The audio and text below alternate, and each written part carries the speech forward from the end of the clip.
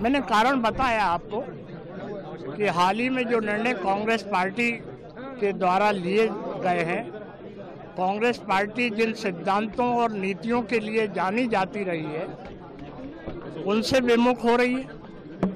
Congress party जनता से विमुख हो रही है।